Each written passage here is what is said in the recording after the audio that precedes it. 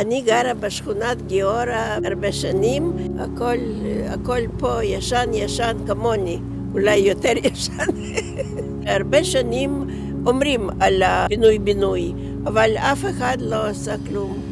חתמתי לחברת א' ב' בגלל שאני בטוחה שהם רציניים, שהם עוזרים לנו, שאנחנו מקבלים דירות חדשות. מה אנחנו מחכים? מה, שנופל הכל הבית? לא נשאר לי הרבה שנים לחכות לזה. אני רוצה לראות דירה שלי אפילו, אפילו בעין אחד.